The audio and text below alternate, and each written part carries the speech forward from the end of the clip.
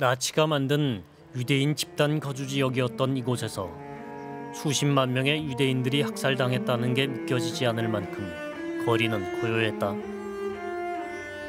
나치에 대항했던 유대인의 벙커가 있던 자리에는 평온한 아파트 단지가 들어서 있었고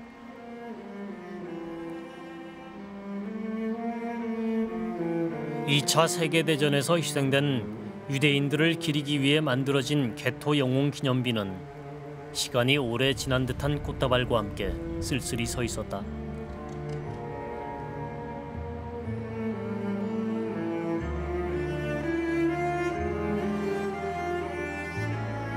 개토 기념광장 앞의 바람에 흩날리는 사진들만이 그날의 비극을 이야기해주고 있었다.